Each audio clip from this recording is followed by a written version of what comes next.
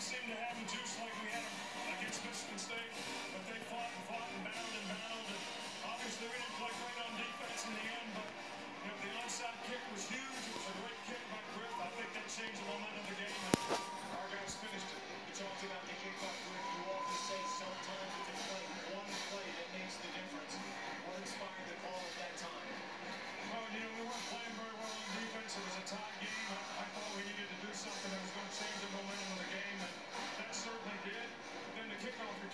too, so special teams really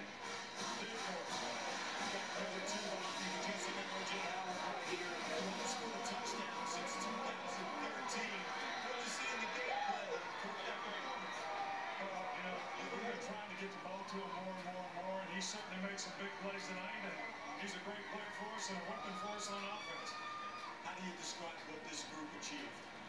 Well, you know, I, I've always said that, that, that this is my, I hate to say favorite team, but because I love them all. Uh, but these have come so far and done so much.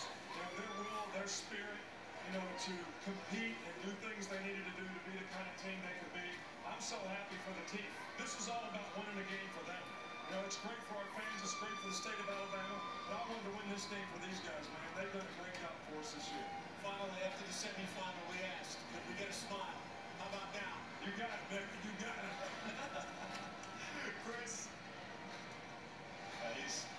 Several times how much